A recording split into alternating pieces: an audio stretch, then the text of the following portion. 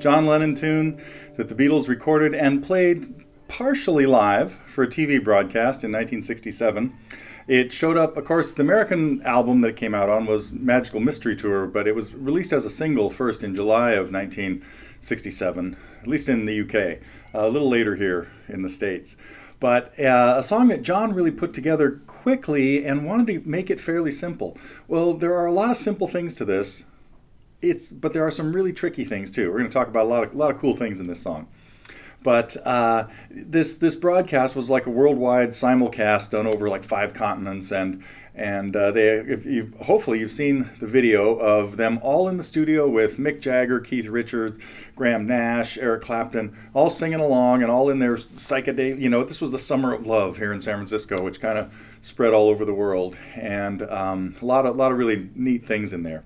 So uh, so anyway, John put this song together for just uh, this live broadcast, and they really did pre-record a lot of it, but he sang it live, chewing gum the whole time. Many videos of Lennon, you see he's uh, chomping on gum while he sings, and uh, a few other parts were live. Then they overdubbed a few parts the next day to to clean it all up, but but. Uh, one of my students asked me about this a little while ago, and my first impression was, oh, it's really simple. There's like nothing going on in there. And then I thought, wait, then I went and listened to it, and I thought, oh, yeah, there's a time change. Every measure of E minor, most measures of E minor have three beats in them, whereas the other measures have four or two, just depending on how you want to think about them. And uh, it opens up with the French national anthem. This is the that's what you heard here at the beginning.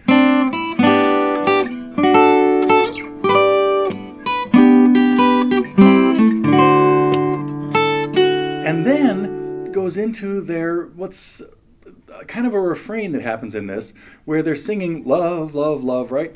And where it's two beats of a g chord two beats of a d chord with f sharp in the bass and then three beats of e minor.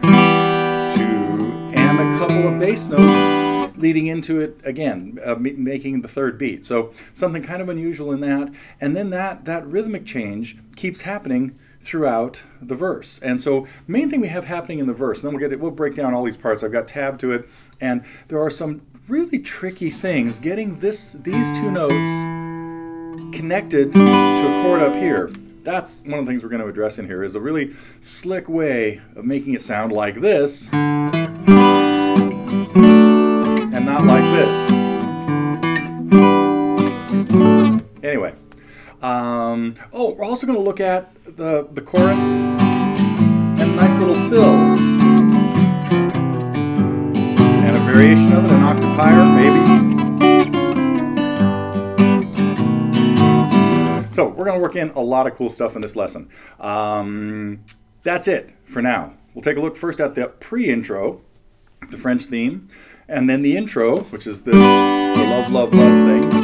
Then what happens in the verse pretty straightforward there. And what happens in the chorus? And the fills. Okay, coming up, a lesson on John Lennon's All You Need Is Love.